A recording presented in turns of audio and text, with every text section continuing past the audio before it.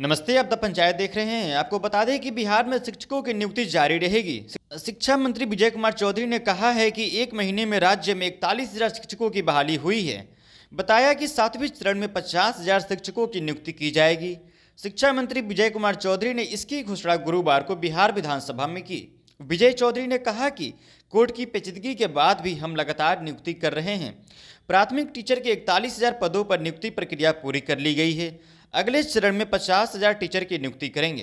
प्राथमिक विद्यालयों में प्रधान शिक्षक के चालीस हज़ार पद और प्लस टू स्कूलों के लिए छः हज़ार चार सौ इक्कीस प्रिंसिपल के पद सृजित किए गए हैं जिसकी बीपीएससी के ज़रिए नियुक्ति की जाएगी।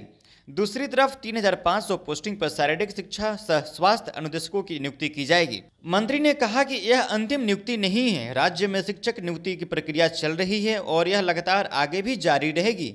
विधानसभा में शिक्षा विभाग का बजट पेश करते हुए मंत्री ने कहा कि टीईटी और एसटीईटी एक पात्रता परीक्षा है। इस परीक्षा के पास करने का यह अर्थ नहीं है कि सबों को नौकरी मिल जाएगी। विपक्ष इस मसले पर कैंडिडेट को गुमराह कर रहा है। जब भी रिक्तियाँ निकलेंगी, टीईटी और एसटीईटी पास अभ्यर्थी आवेदन करेंगे और मेरिट लिस्ट के आधार पर उनकी नियुक्ति की जाएगी। शैक्षिक सत्र 2022-23 की भावी कार्य योजना पर मंत्री ने कहा कि सभी प्राथमिक, मध्य उच्च विद्यालयों में पूर्णकालिक प्रधानाध्यापक और प्राचार्य की नियुक्ति बीपीएससी से कर ली जाएगी। धन्यवाद। द पंचायत को सब्सक्राइब कीजिए और स्वतंत्र पत्रकारिता को आगे बढ़ाइए।